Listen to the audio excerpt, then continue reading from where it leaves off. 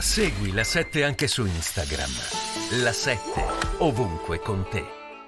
Buonasera Gianluigi Paragone. Buonasera, buonasera.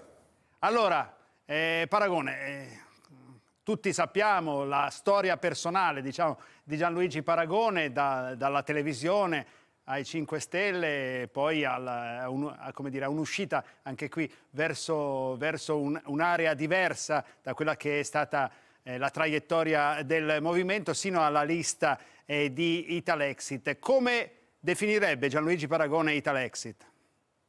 Beh, sicuramente una forza radicale, antisistema, eh, oltre le, le, convenzioni politiche, eh, questo ovviamente già anche nella targa del, del, movimento stesso, del partito stesso, il fatto di essere l'unica forza politica che richiami una intenzione, una finalità di scopo così chiara rispetto all'Unione Europea, eh, è già di per sé sinonimo di una garanzia circa la tenuta di, un, di una tesi. Poi può piacere come non può piacere, però è una tesi. Allora però eh, Gianluigi Paragone, ci troviamo ovviamente in una fase, siamo nella giornata finale della campagna elettorale. A cosa mira il Talexit? Cosa vuole ottenere? Eh, quali sono i punti fondamentali del programma? E cosa sono le cose che ha riscontrato in campagna elettorale? Vorrei andare su, questa, su questo filone. Innanzitutto, mettiamo che, come può succedere, eh, ci sono persone che hanno detto fino all'ultimo giorno non decido, oggi è l'ultimo giorno della campagna elettorale, perché bisogna votare, perché?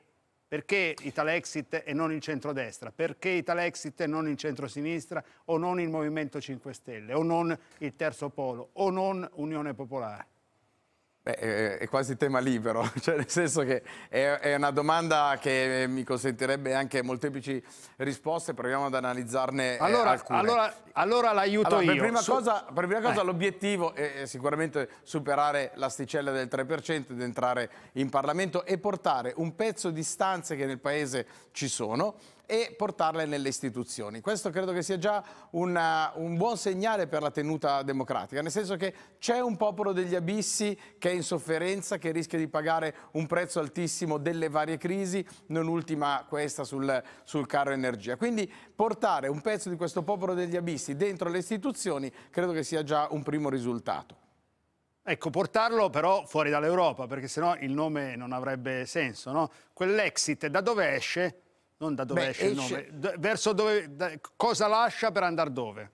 Esce da un'Unione Europea che io considero essere eh, non, non, conveniente per, per, gli italiani, non conveniente per il Made in Italy, per la sua tutela, per la tipicità. Io credo che alla lunga il modello su cui ci ha spinto l'Unione Europea, che poi tra l'altro è anche diverso da, da, Europa. Noi sovrapponiamo convenzionalmente le due questioni, però per esempio la Norvegia è Europa ma non è l'Unione Europea, però la Norvegia ci sta vendendo una dose di, di gas eh, da, da, primato, è il playmaker principale, il primo attore nelle esportazioni del, del gas dopo la, dopo la, chiusura di fatto del, del, del rubinetto russo. Quindi la Norvegia è un classico esempio di un paese che non è nell'Unione Europea, non è tantomeno nell'Eurozona, ma è nell'Europa. Quindi quando noi parliamo di Europa, noi ovviamente facciamo riferimento all'Unione Europea, a questa sovrastruttura, io lo definisco un metastato, un metastato che ha snaturato quella che è l'intelaiatura del, del, dell'impresa italiana, dell'industria italiana, dell'economia italiana. Non posso non ricordare la frase beffarda a riguardarla oggi di Romano Prodi. Grazie all'Europa noi lavoreremo un giorno in meno e guadagneremo come se avessimo lavorato un giorno in più. Bene, io penso che proprio sul tema del lavoro, sul tema della piccola impresa, l'Europa è stata cattiva, altro che una buona mamma, è stata decisamente cattiva perché tende a snaturare quelle che erano le dinamiche di distretto. La piccola impresa italiana giocava su alcuni fattori tipicamente italiani, tra l'altro studiati anche all'estero. Cioè noi avevamo una cultura della microimpresa, piccola impresa, grandi sfide che nascevano dai laboratori, dai, magari dalle terrazze di casa, dai garage, perché anche noi avevamo i garage dove si eh, elaborava un prodotto nuovo che poi sarebbe andato a conquistare i mercati internazionali. Poi l'evoluzione, il capannone, le banche che accompagnavano le sfide di questi piccoli imprenditori, però erano banche piccole, quindi l'intelaiatura era sicuramente il piccolo. Il modello dell'Unione Europea è un modello che sta dentro le dinamiche della globalizzazione. Io credo che soprattutto in futuro, soprattutto in questo immediato futuro, ci sarà una grande richiesta della tipicità, della specializzazione, di un qualcosa che è eccellente ed eccellenza in una parte di mercato. Allora lì noi saremmo già campioni del mondo. Perché andare dietro a un modello che nella globalizzazione ci fa perdere? Quindi conserviamo il nostro know-how, conserviamo la nostra grande tipicità. Lei è, eh, mette in discussione la moneta unica, mettete in discussione la moneta unica, mettete in discussione eh, il modello, diciamo, lo definiamo vincolante eh, della vaccinazione riguardo alla, alla, questione del Covid, mettete in discussione l'invio delle armi all'Ucraina per difenderla eh, dall'attacco dall russo. Non, non rischiate la sindrome del bastian contrario? Beh, eh, non è una sindrome del bastian contrario, se non ci piace un, una via che è stata intrapresa, che è intrapresa, diciamo di no. Un tempo i nonni ci dicevano i no aiutano a crescere, magari anche stavolta certi no, che tra l'altro ormai sono forse minoranza, perché nella, nella retorica comune veniamo sempre etichettati con le peggiori etichette, poi magari qualche no può avere anche sua, il suo fondamento. Poi qui siamo andati a prendere tre no completamente diversi per, per, descrizione. Il discorso della moneta unica, io tante volte sono andato a, a, a, a, guardare con la lente di ingrandimento come una moneta unica con un tasso di cambio fisso possa reggere in un contesto di Unione Europea con forti, pesanti asimmetrie fiscali e noi non è che lo scopriamo oggi, questa cosa la, la conosciamo da tempo, il passato Presidente della Commissione Europea era, eh, era Jean-Claude Juncker. Eh, un, no, della, un banca centrale, della Banca Centrale. No. No, Jean-Claude Juncker, ah, no, scusi, no, no, no, no, scusi, eh, pensavo Trichet, sì. no, ha ragione, scusi. No, no, Juncker Lussemburghese era stato il sì. presidente del, del, del Lussemburgo sì, sì. e aveva attratto parecchi capitali attraverso Premier, la Premier Pierre certo, lussemburghese con la, una fiscalità la, di vantaggio per il suo paese. Un, certo. un, vero e proprio dumping fiscale a danno anche delle imprese italiane.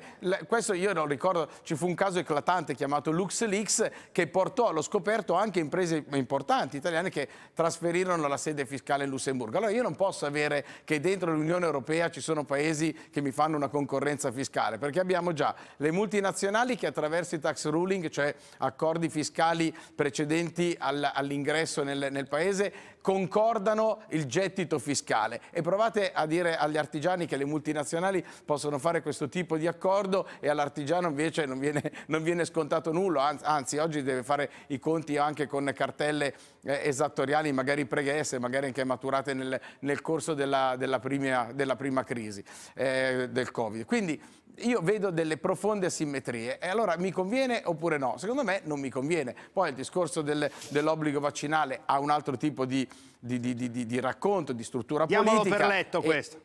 Diamolo per letto, Quale? che le, le, glielo risparmio. Mentre invece sulla guerra è importante capire cosa, cosa è sbagliato dal vostro punto di vista e cosa andava fatto diversamente e come se ne esce.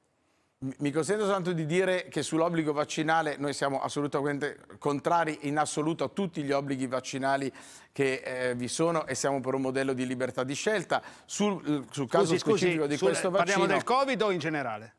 No, no, in generale, anche io andrei anche indietro rispetto alla, alla legge Lorenzini. Del resto, quando mi cioè candidai con il Movimento 5... per i, per i, sì, per i ragazzi. Qua, sì, quando mi candidai con la Lorenzin, questo era anche un tema del Movimento 5 Stelle, e poi non so come mai il Movimento 5 Stelle se ne scordò abbastanza in fretta. Quindi io andrei sul modello di libertà di scelta eh, e questo tanto basta. Poi invece sul discorso di questo vaccino facciamo una commissione d'inchiesta così almeno mecciamo, incrociamo i dati e le informazioni e lo lasciamo ai medici che si confronteranno su una commissione d'inchiesta. Sul discorso invece dell'invio delle, delle armi, eh, io non credo credo e mi ostino a, a, a, riprendere un discorso che avevo già fatto in aula attraverso il, le votazioni eh, contrarie all'acquisto e all'invio delle armi. Intanto l'acquisto delle armi ancora è dato da capire come mai questo acquisto avviene senza IVA, tanto per fare un, un esempio. Eh, oppure vorremmo capire da chi le stiamo andando a, a comprare, con quali, con quali negoziati, giu, negozi giuridici e, e va bene, questo è un certo discorso.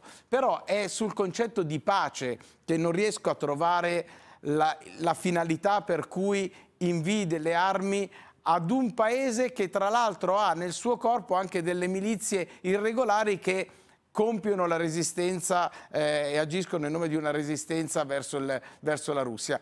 Quindi mh, mm, non mi convince questo tipo di, di, atteggiamento e se vogliamo uscire da una dinamica di conflitto io credo che occorra assolutamente costruire un tavolo di mediazione e far uscire mi consenta un po' la, la, la, la figura retorica eh, presa da un grande romanzo, eh, far uscire dal mantello di Harry Potter gli Stati Uniti d'America. Il mantello di Harry Potter era quello che gli dava l'invisibilità. Ecco, gli Stati Uniti d'America devono uscire dall'ambiguità, devono assolutamente eh, scoprire il loro gioco, far capire che tipo di finalità vogliono, perché altrimenti questo conflitto maturerà sempre di più in Europa.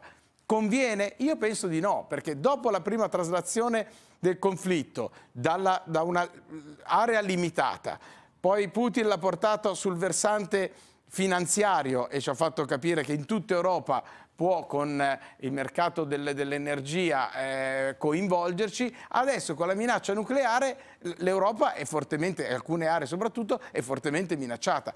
Se si mette su questo crinale, secondo me questa guerra non sappiamo dove va a finire. Io temo fortemente una spirale negativa e un moto di eh, accelerato uniforme verso il disastro.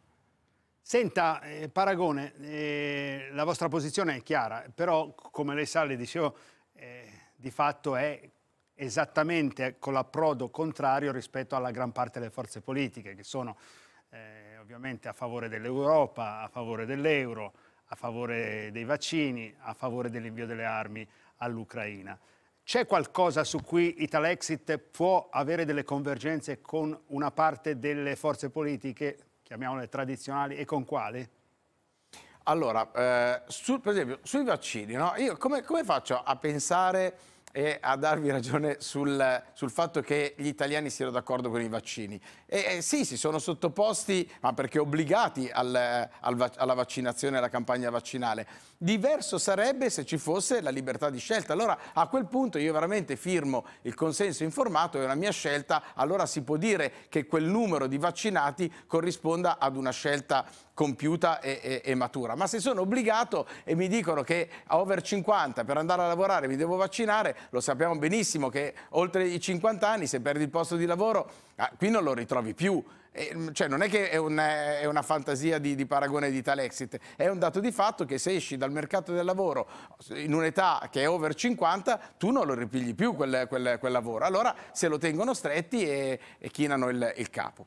Eh, sul, Sull'Europa io voglio ricordare che le due principali forze che eh, quattro anni fa vinsero le elezioni, il Movimento 5 Stelle e la Lega nell'ambito del, del centrodestra, eh, il Movimento 5 Stelle aveva raccolto le firme per uscire dall'euro e, e, e, la Lega, eh, c'era Salvini che andava con le felpe basta euro e aveva candidato Borghi, Bagnai, eh, la, la, la, Donato, Rinaldi, quindi eh, le elezioni sono state vinte anche con queste parole forti. Ora ci ritroviamo con una platea importante di persone che evidentemente tradite non, eh, non, hanno ancora deciso se andare a votare e come andare a votare, quindi non credo che questa gran voglia di Europa eh, sia, sia, vistosa nel, nel, Paese. Magari qualche criticità pesante credo che, che ci sia. Eh, proviamola a raccontare. Ovviamente l'ha tirata lei con, con, la citazione di quelle posizioni diverse che avevano avuto le due forze vincitrici di fatto delle elezioni di quattro anni fa che hanno dato vita poi anche al governo, al primo governo della legislatura, quello cosiddetto giallo-verde. Sono le due forze politiche in cui lei ha militato, non è un segreto e certo non se ne vergogna. Cosa è cambiato in quelle due forze o cosa è cambiato in lei? Allora, eh, in quelle due forze, il Movimento 5 Stelle secondo me non aveva una tesi convinta rispetto alla posizione dell'Europa, ha tentato prima l'operazione referendum, poi, eh, poi, ha tentato una campagna eh, elettorale dove nel programma c'era anche l'option out, cioè l'opzione di uscita dal, dall'Unione Europea e dall'Unione Monetaria. E poi hanno avuto paura, il Movimento 5 Stelle ha cambiato totalmente pelle ma del resto lo dimostra anche il trasformismo più che la trasformazione dei, pro, dei, dei protagonisti. Conte è passato da un governo giallo-verde ad un governo col Partito Democratico, in mezzo c'era stata l'elezione della von der Leyen, Eh, quindi è strano che uno stesso Presidente del Consiglio senza, un, senza, una fase di rottura passi da una tesi A alla tesi opposta. Eh, la, Lega, la, Lega, non lo so, devo dire la verità, mm, non, onestamente non, non, riesco a capire la, la parabola di, di, di, Salvini se non una parabola disperata, ma quasi un'incapacità a elaborare un concetto politico. Eh. Ehm, lei sì. pensa che dopo le elezioni ci potrà essere una ripresa di rapporti con quelle figure che lei ha citato, che erano impegnate sulle battaglie riguardo all'euro? Ha fatto i nomi di no. Borghi, Bagnai o altre figure no. che sono restate... Salvini... Nel... Prego. Salvi, Salvini ha mollato una trincea e non può pensare di ritornare indietro perché queste cose in politica si pagano a caro prezzo, poi quella casella viene di fatto occupata da qualcun altro. Il Movimento 5 Stelle con Conte, io lo dico, è fortemente critico, Conte appare adesso come un Robin Hood, per quel, per quel che mi riguarda Conte è quello che dopo la, la, la, tragedia del Ponte Morandi non ha avuto il coraggio di revocare le concessioni autostradali ai Benetton, è l'uomo che ha, ha, fatto fare le mascherine da consegnare nelle scuole al gruppo FC Auto del Agnelli Ecan, quindi una di quelle grandi famiglie. Cioè, insomma, tutto il contrario di quella che era stata la campagna elettorale del Movimento 5 Stelle. Provate a pensare se il Movimento 5 Stelle e la Lega avessero fatto, eh, ci avessero detto in campagna elettorale quattro anni fa quello che poi hanno combinato in, in aula. Noi noi staremo dalla parte dell'Europa, noi difenderemo gli interessi di Bruxelles, noi faremo e difenderemo gli interessi dei Benetton, degli Elkan e delle grandi famiglie. Cioè, un racconto completamente diverso. Poi Conte è quello di, di Arcuri. Arcuri solo con Conte poteva essere supercommissario a tutto, una specie di, di supereroe della Marvel contiana, dal, dal supercommissario all'emergenza Covid all'Ilva di Taranto passando per le primule vaccinali. Un delirio assoluto. Senta, in eh, conclusione, che abbiamo parlato tanto ma eh, valeva la pena, è dell'ultimo giorno, è, giusto dare eh, l'adeguato spazio a tutti. Se lei dovesse indicare nelle liste di Italexit dei candidati emblematici eh, per far capire cosa siete e cosa volete, Beh, Giovanni Fraiese sicuramente è uno del, del, dei candidati di punta rispetto alla questione vaccini Vaccinale, e Covid. Certo. Eh, Stefano Puzzer interpreta, stamattina ero a, a, Trieste, interpreta quello che è accaduto al porto di, di Trieste e interpreta anche le, le, dinamiche di lavoro rispetto a nuovi padroni, perché ormai si deve tornare a parlare di padroni, mi riferisco agli ambienti delle multinazionali che sfruttano a norma di legge legge i lavoratori. Eh, mi viene in mente Nunzia Schilierò, eh, mi viene in mente eh, Raffaella Regoli, mi, che è una collega giornalista, mi viene in mente Lina Manuali, che è, è, il giudice monocratico di Pisa,